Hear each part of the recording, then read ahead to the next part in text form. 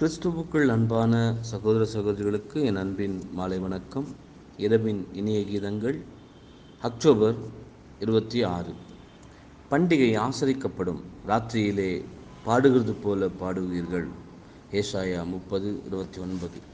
தேவன் கருணை உள்ளவர் என்பதை ருசித்து பா- ருசி பார்த்த ஒவ்வொருவரும் எந்த மனுஷனாலும் எடுத்து போட முடியாத சந்தோஷத்தை பெற்றிருக்கிறார்கள்.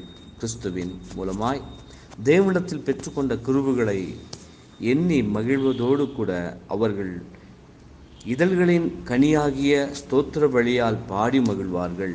தங்கள் முழு வாழ்க்கையையும் தேவனுக்கு நன்றி கூறும் வண்ணமாக இடைவிடாமல் ஸ்தோத்திரம் பலியை செலுத்திக் கொண்டே இருப்பார்கள்.